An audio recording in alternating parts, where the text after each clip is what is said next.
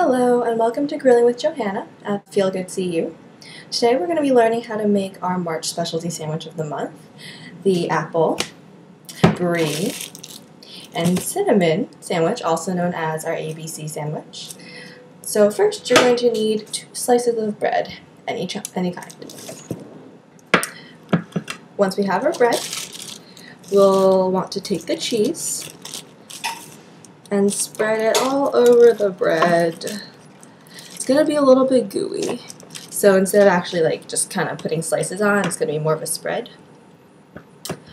But that's okay, because it'll still taste cheesy and delicious. And don't worry about cutting off the wax, because you can actually eat that too.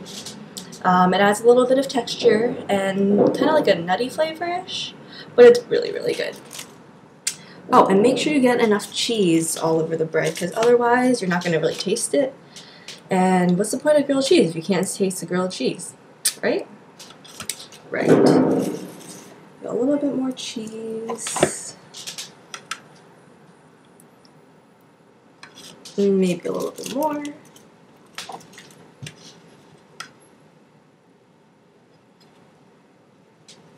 And now we're ready, almost, for the cinnamon. So we have our cinnamon here. Open it and sprinkle it all over the cheese.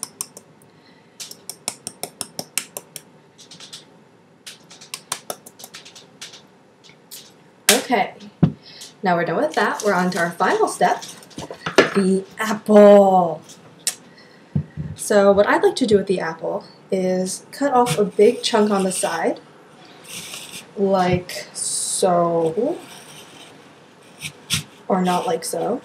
oh, it helps when you have a really sharp knife, which I wish I did. Almost there.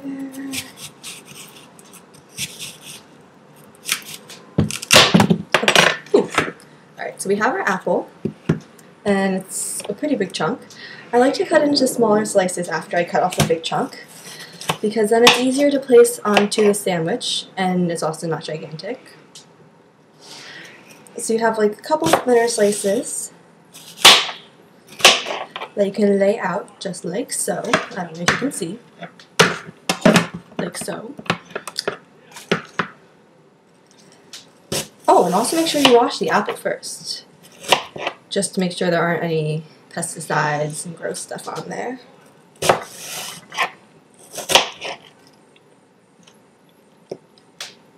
And last piece here. All right, and we have our apple. So now we can do as we do with all sandwiches. Place the two pieces of bread together and pop it into the grill, which you can see back there, hopefully.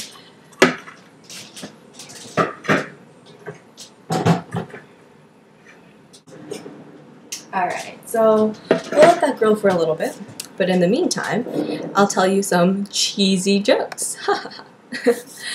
Alright, so two antennas met on a roof, fell in love, and got married. The ceremony wasn't much, but the reception was excellent. Get it? Reception. Next one. A jumper cable walks into a bar. The bartender says, I'll serve you, but don't start anything. Kind of defeats the point of a jumper cable, don't you think? the next one. Two cannibals are eating a clown. Ew. One says to the other, Does this taste funny to you? I don't know, but I think a clown would taste pretty funny. My next favorite. Why was Cinderella so terrible at football? Because she had a pumpkin for a coach. Duh. I think Cinderella should probably watch Remember the Titans to pick up some tips. And the last, but not least, two fish swim into a concrete wall. The one turns to the other and says, damn. Damn, without an N though. Get it? Alright, so now that we're done with the jokes, hopefully our sandwich is done too. Let's walk over here and check. Oh, I hear some sizzling. Alright, and I think our sandwich is good to go. So we'll take it out of the grill carefully.